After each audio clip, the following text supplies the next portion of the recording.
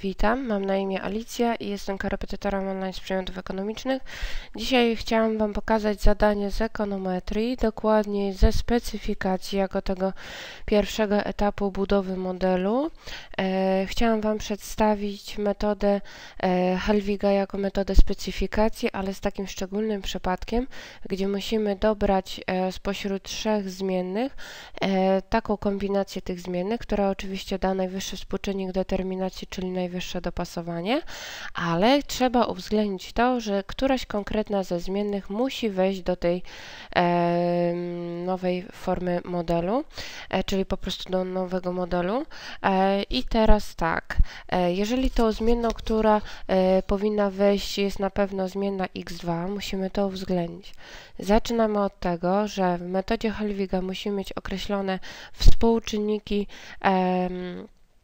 korelacji liniowych bezpośrednich e, tych zmiennych x1, x2, x3 ze zmienną y, trzy wartości. Każda z nich pokazuje tą korelację bezpośrednią z y, ale też musimy mieć macierz korelacji pośrednich, czyli mm, typowo między zmiennymi x, bo jak wiemy, korelacje w, w ekonometrii, czy w ogóle w, musimy uwzględniać, że występują nie tylko bezpośrednio ze zmienną objaśnianą, ale również między zmiennymi objaśniającymi, czyli x1, x2, x3.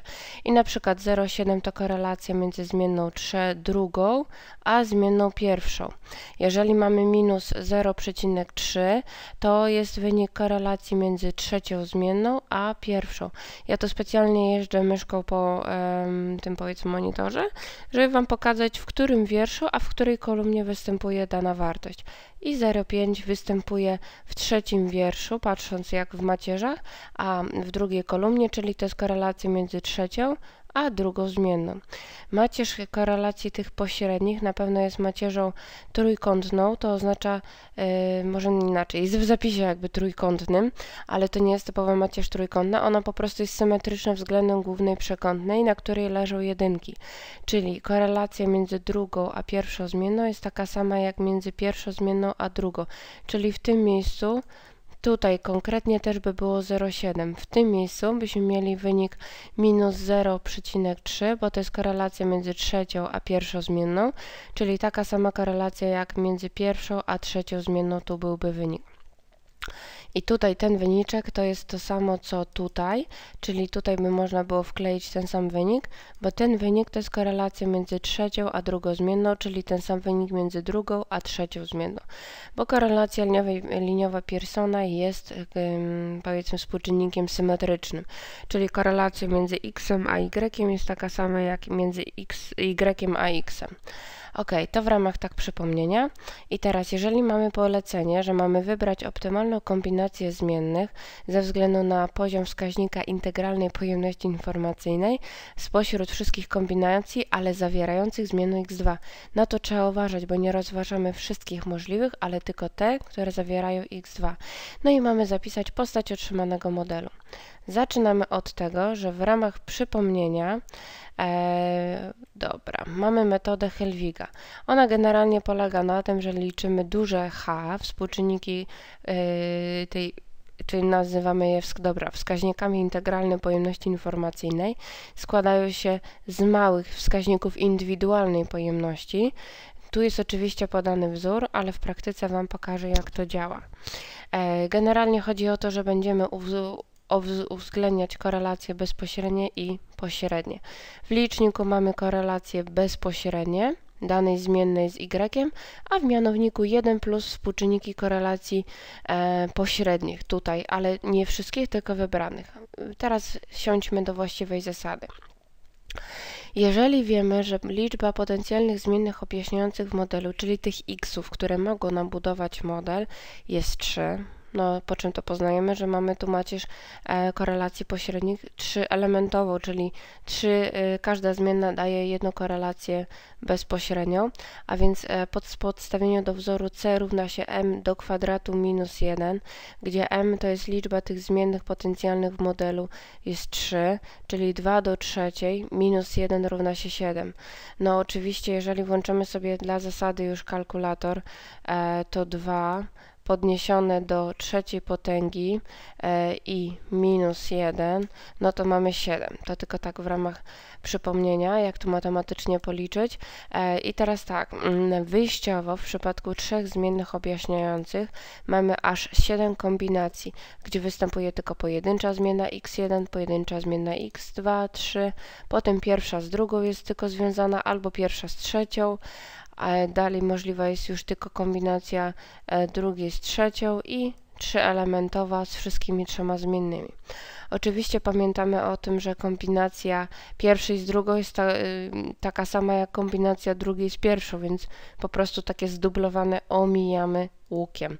E, więc teraz dalej idąc, jeżeli wiemy, że wszystkich kombinacji bez uwzględnienia tego warunku, że x3, x2 ma wejść do modelu, mamy 7 ale teraz, jeżeli wiemy, że mamy tylko z, y, spośród tych uwzględnić te, które mają x2, no to takich kombinacji łącznie mamy tylko 4, czyli 3 kombinacje omijamy e, całkowicie. Tą zawierającą x1, tą zawierającą x3, tą, która ma i pierwszą i trzecią, czyli z pominięciem e, x2 i pozostałe zostawiamy. I teraz, jeżeli przypomnimy sobie, że te e, współczynniki e, w metodzie Halwiga, wskaźniki liczymy na podstawie korelacji bezpośredniej i korelacji macierzy korelacji pośrednich, e, liczymy po kolei te wskaźniki. Pierwszy wskaźnik, oczywiście ja tu zachowuję tą numerację, jaka jest w tych kombinacjach, e, która odpowiada tej kombinacji drugiej. Ona się składa tylko ze samego współczynnika e, bezpośredniego, e, czyli tutaj 0,7 podnoszę do kwadratu. E, dlaczego? Bo nie mam przez co dzielić, a w mianowniku zazwyczaj dzielimy przez 1 plus korelac suma korelacji e, tej zmiennej x, tutaj zmiennej x2 z pozostałymi, ale jeżeli ko kombinacja zawiera tylko zmienną x2, to nie mam kombinacji, nie mam tych korelacji e, z pozostałymi zmiennymi, które występują w tej e, kombinacji, bo tylko jest jedna zmienna, x2. Nie mam e, żadnej e, korelacji z pozostałymi zmiennymi w tej kombinacji, bo ona jest tylko jedna. Dlatego po prostu w przypadku kombinacji e, jednoelementowych podnoszę do kwadratu tą korelację bezpośrednią i nic więcej. Jeżeli teraz e, sobie wejdziemy w ten element e, kombinacji dwuelementowych, pierwsza z nich to była między pierwszą a drugą zmienną, to proszę zobaczyć, że to jest e, korelacja bezpośrednia pierwszej zmiennej i drugiej zmiennej, ale dzielę przez 1 plus co, jeżeli to jest korelacja, pierwszy element to jest korelacja pierwszej zmiennej, e, bezpośrednia korelacja, to ona występuje, ta korelacja e, znaczy ta kombinacja zawiera element x1 i x2, a więc w mianowniku dzielę przez 1 plus korelację między pierwszą a drugą zmienną. Więc yy, korelacja między pierwszą a drugą zmienną, czyli między drugą a pierwszą zmienną jest 0,7.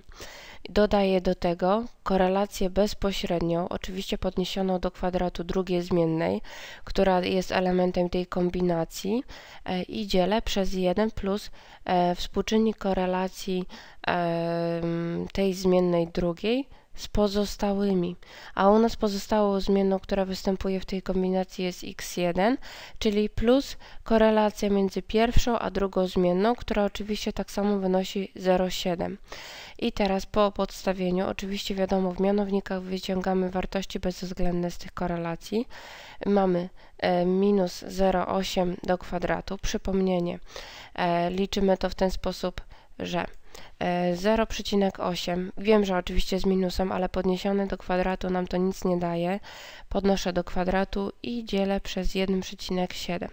Pierwszy element wynosi tyle. A drugi element to jest 0,7 e, podnoszę do kwadratu i dzielę też przez 1,7. Czyli wynik e, ten dodaję do wyniku tego, żeby otrzymać 0,665. E, jeżeli teraz mam policzyć wskaźnik e, tej pojemności informacyjnej kombinacji, która zawiera drugą i trzecią zmienną, to muszę zarówno, e, będę miała dwa ułamki, pierwszy tutaj i drugi tutaj ułamek, gdzie tutaj mamy korelację bezpośrednią drugiej zmiennej, tutaj korelację bezpośrednią trzeciej zmiennej bo one występują w tej e, kombinacji, którą teraz rozważam, ale w mianowniku mam 1 plus korelacja tej zmiennej drugiej z pozostałymi.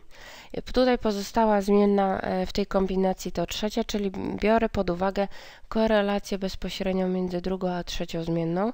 Korelacja między drugą a trzecią zmienną jest tutaj, bo to jest wynik e, z drugiego wiersza, z trzeciego wiersza i z drugiej kolumny czyli to jest 0,7 e, jako bezpośrednia korelacja między drugą a y e, i tu jest oczywiście korelacja między trzecią zmienną a y, czyli to jest ten wynik i ten wynik, a w mianowniku mam 1 plus korelacja między drugą a trzecią zmienną, czyli to jest tutaj 0,5.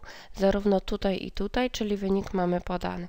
Wydaje się to może proste, ale najlepiej jest w tym momencie mm, rozważyć jeszcze korelację e, o, właśnie, e, dla e, wszystkich trzech zmiennych. Ostatnio najtrudniejszą korelacją, jaką, e, kombinacją, jaką musimy rozważyć jest trzyelementowa. Tu sprawa już czasem wydaje się trudniejsza, jak e, rozpisać ten współczynnik, wskaźnik pojemności integralnej Helwiga, ale dla kombinacji trzyelementowej. Oczywiście, jeżeli kombinacja zawiera pierwszą, drugą, trzecią zmienną, to będę miała trzy e, ułamki, tak jak tutaj zaznaczam. W każdym z nich będzie korelacja bezpośrednia tej zmiennej, która występuje w kombinacji. Oddzielnie, każda podniesiona do kwadratu, ale co w mianowniku każdej z, tych, e, z każdego z tych ułamków.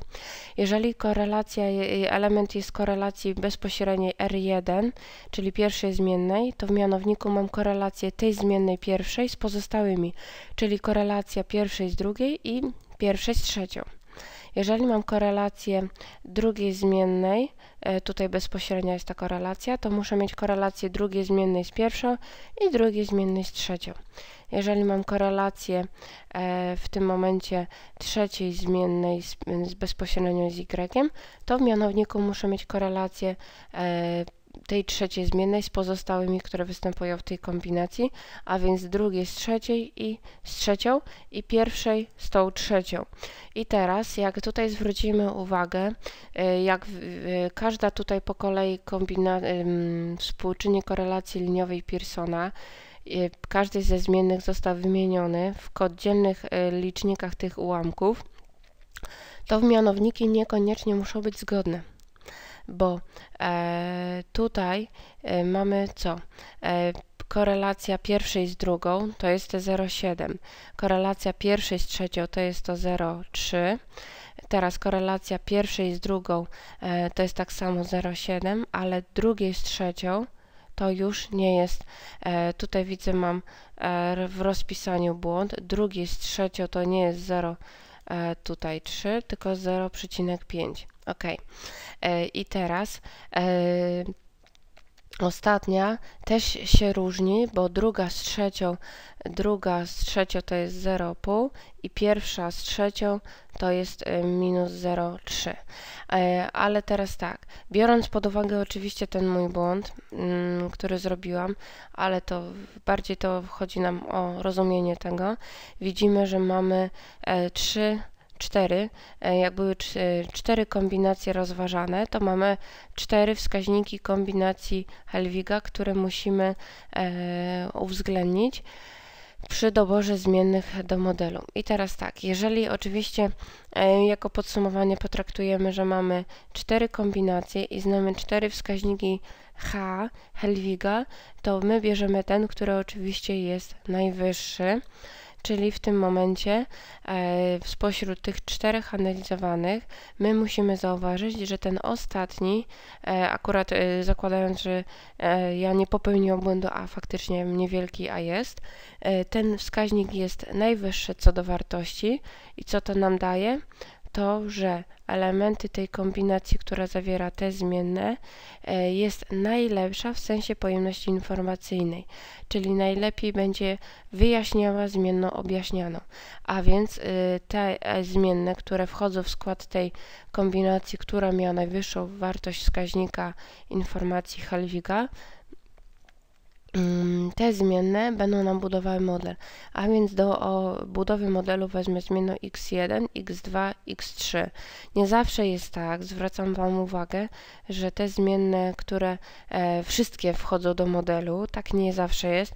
Czasem, e, zwróćcie uwagę, ta kombinacja dwuelementowa jest niewiele lepsza, o, niewiele gorsza od elementu, e, od kombinacji, która ma trzy elementy, a więc nie jest zawsze tak, że im więcej zmiennych w modelu, tym większa jest ta pojemność informacji. Na to należy zwrócić uwagę i, nie, uwagę i nigdy się tym nie sugerować. Jeżeli potrzebujecie się ze mną skontaktować, na pewno możecie do mnie pisać na adres mailowy zadania myślnik projekty małpa.wp.pl. Tu ja tutaj to zapiszę. Ewentualnie możecie wejść na adres strony internetowej zadania-projekty.pl. Jeżeli potrzebujecie się kontaktować, jak najbardziej możecie. Możecie wysyłać swoje zadania, które macie do rozwiązania, a gdy będę miała możliwość, na pewno Wam pomogę. Pozdrawiam i życzę sukcesów i cierpliwości w rozwiązywaniu kolejnych zadań. Korzystajcie z całej udostępnionej przeze mnie wiedzy, subskrybujcie kanał i e, komentujcie moje filmy, jeśli oczywiście czujecie taką potrzebę. Pozdrawiam.